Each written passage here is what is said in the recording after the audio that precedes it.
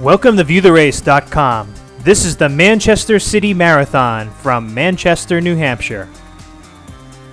The race starts right on Elm Street near Veterans Park in downtown Manchester.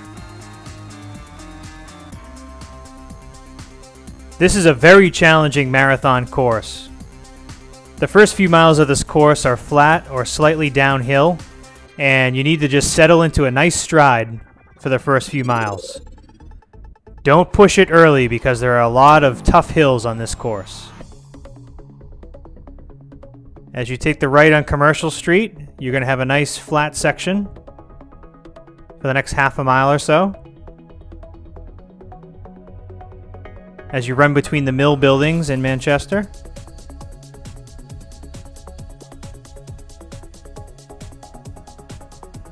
The key to this race is to go out nice and steady and do not push it in the early miles. Because of all the challenging hills, you really need to save your strength right up until the end of the race.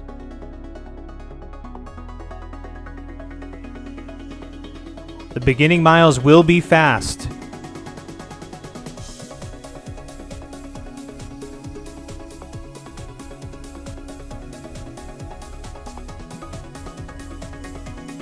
You cross through mile two, the road's going to start to slightly tilt upwards. And this is the first really short but tough hill on the course.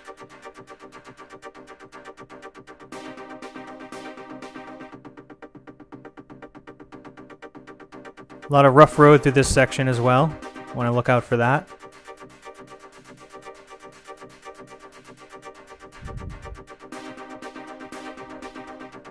Although this course has a lot of tough hills, there are a lot of interesting parts of this marathon course, which make it a very unique race. There's a couple of off-road sections, and there's also a pedestrian bridge that crosses the Merrimack River that we get to run over as well. Very interesting course.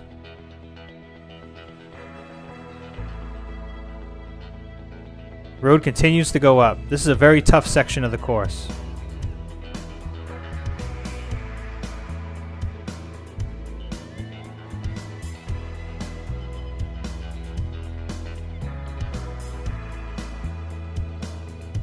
Really just need to settle into a steady pace and just grind your way up this hill. Now as we cross through mile 5, we're going to be taking a left onto Campbell Street and once you get onto Campbell, now you're going to have a nice downhill. So finally you get to pay back the course just a little bit. Your pace will pick up and you'll have a chance to recover. Now as you take this right on Juniper Street, you're going to go into another quick downhill and then you can go straight into Livingston Park. Now the next half mile of this course is going to be on hard-packed dirt that runs right through the park. Very unique part, part of the course. Now the ground is, it's hard packed, but there's slight rolling hills as we go through the park. It's not completely flat. But you are completely surrounded by trees and on your left hand side is Dorrs Pond. So there's a nice little pond on your left hand side as you run through the park. This is a very cool section of the course.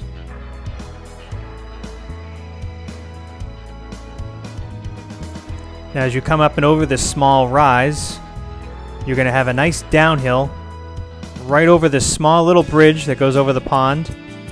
And then you're going to exit the park, run through the parking lot, and then get back out on the roads. As you go straight onto Redcoat Lane, the road's going to tilt upwards. And then you're going to take a left onto Tory Road, and the road continues to go up.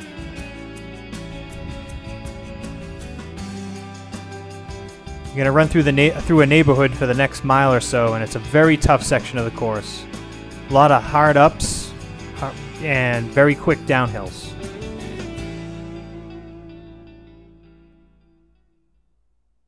Big rolling hills through this section of the course.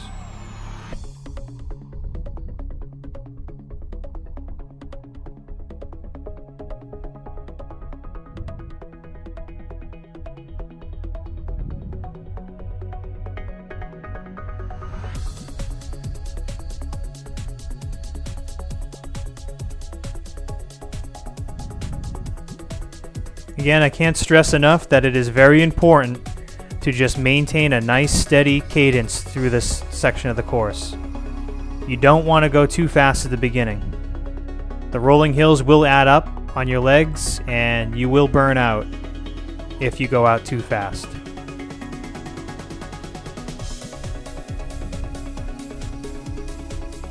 As you take the left on Reservoir Ave, you have another tough, slow uphill.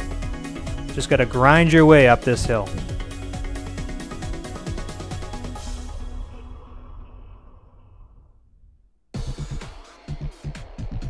Another tough short uphill.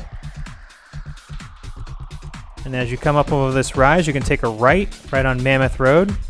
Now at these lights, you're going to go straight through the lights, and then you're going to take a left through a cutout in the median, or right after this median, and you're going to have a nice downhill right onto Merritt Nyberg Lane. Stay to the right, as you're going to be taking a right on Bridge Street.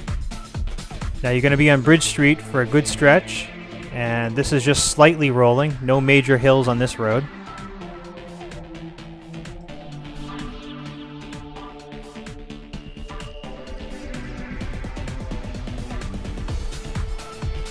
This section of the course should give you a little chance to recover.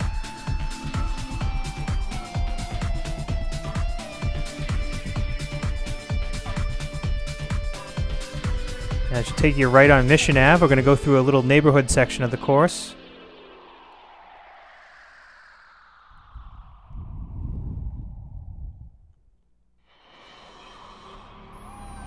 Couple of quick turns in the neighborhood. Short little downhill, and then we're going to take a right onto Hanover Street. Now we're going to follow Hanover Street all the way to Elm Street. So it's about two and a half miles uh, straight away on Hanover Street. Now there's a couple of really tough rolling hills on Hanover. And then there's a nice long steady downhill right before we get to Elm Street. So again, just continue to settle into your pace and be prepared for some rolling hills.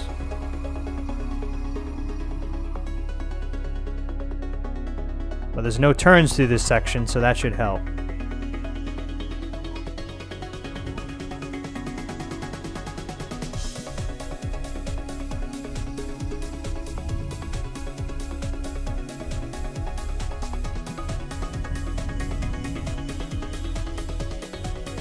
Uh, looming in the distance is a pretty tough uphill. Again, you're just going to have to pull yourself up this tough uphill as we cross through mile 12.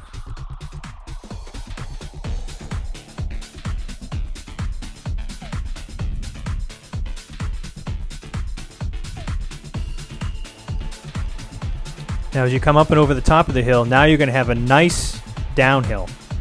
Long downhill all the way to Elm Street. After the hill flattens out, it just nice fast part of the course right through here.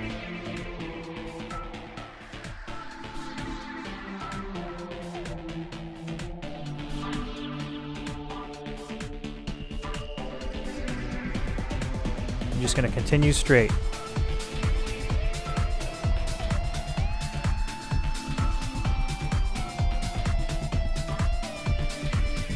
A little bit of rough road on some of the sections of Hanover as we head towards Elm, but not too bad.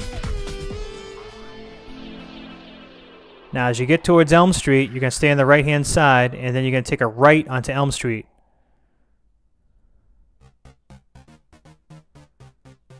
If we would have taken a left there, we would have headed towards the finish line. We're going to take a right, and now we're going to head out and take a left over the Bridge Street Bridge.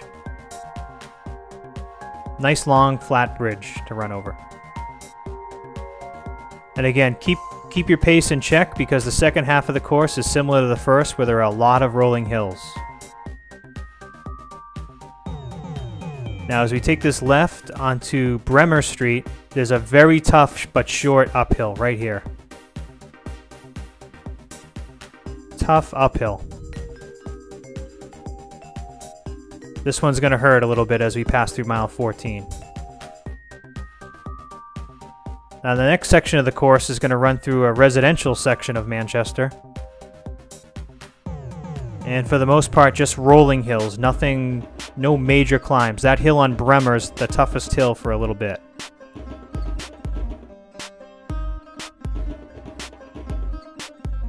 This is a nice residential section of the course with some nice homes and some nice neighborhoods to run through.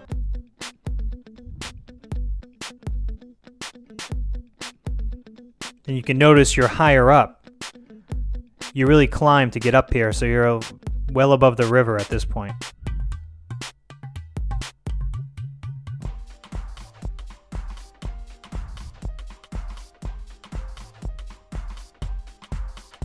As we continue running through the neighborhood.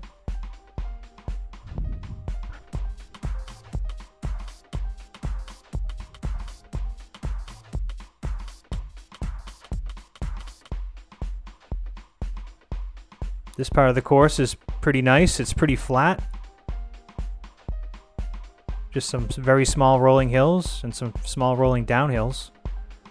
But it's a nice section of the course.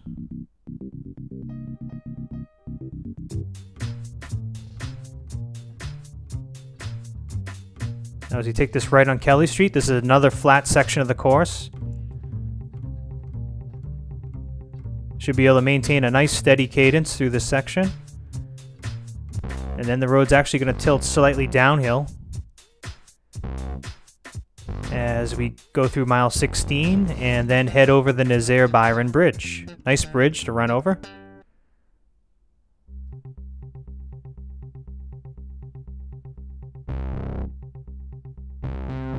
Now at these lights, you're going to stay to the right. You're going to take a very hard right back into another neighborhood.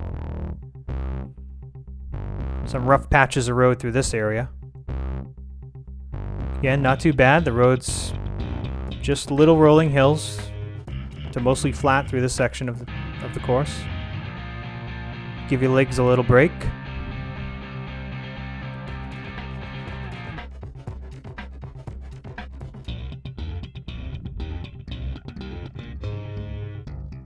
A lot of turns through this section of the course. Now, some people don't mind having this many turns on a course, and other people really dislike this many turns on a course, but there are some nice neighborhood sections that we run through on through there's just a lot of turns. Okay, now you back out on the main road, and again, the road is still flat at this point. Nice break from the hills for the last couple of miles.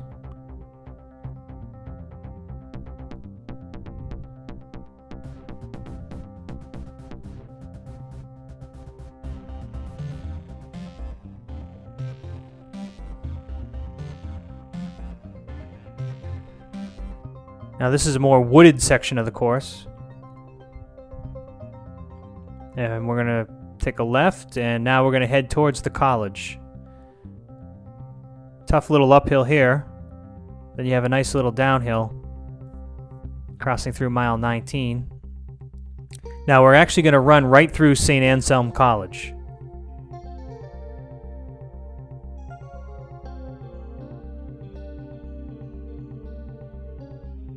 Nice downhill. And we're going to take a right, and we're running right through the college at this point.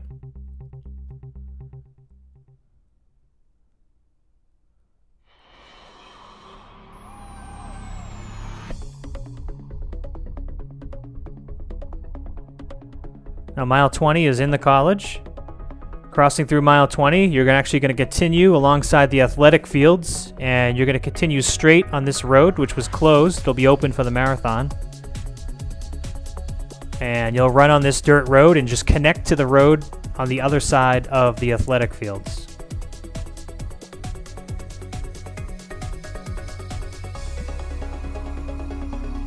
And the road continues flat.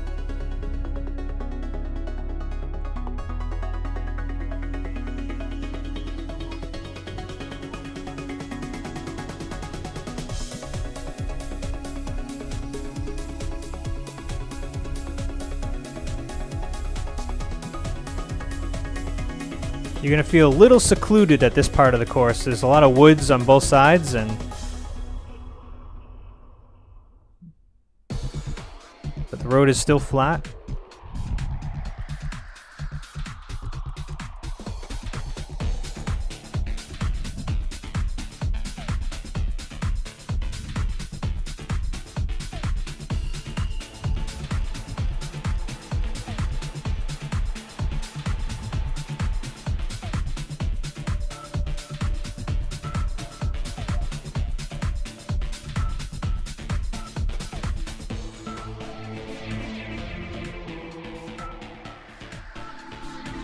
Now as you take this left on Coburn Street, we're going to have another section of the course with a lot of turns.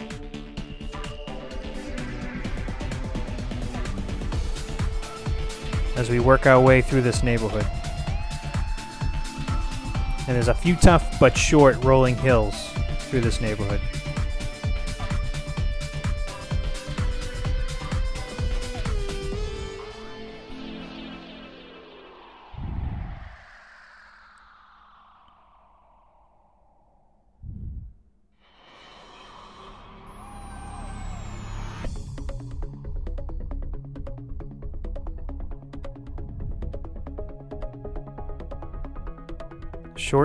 Steep downhill. Then you can take a right on Milford Street.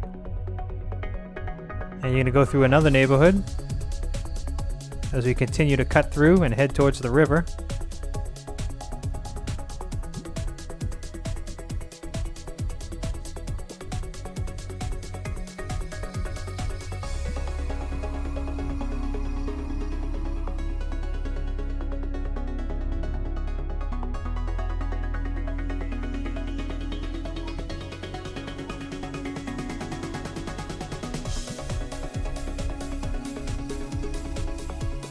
Now we're going to have a little bit of a weird turnaround, and then we're going to take a left right on this bike path that crosses over the highway and also the Merrimack River.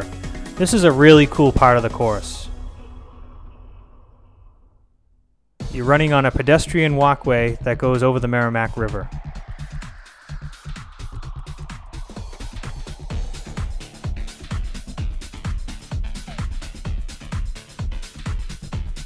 Okay, you're just going to work your way around this walkway.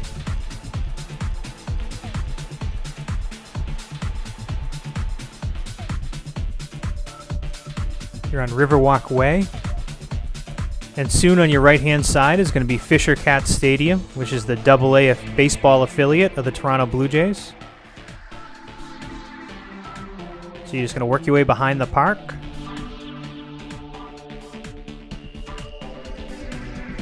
And then kind of go through the parking lot and head back out onto the main road. Pretty cool part of the course.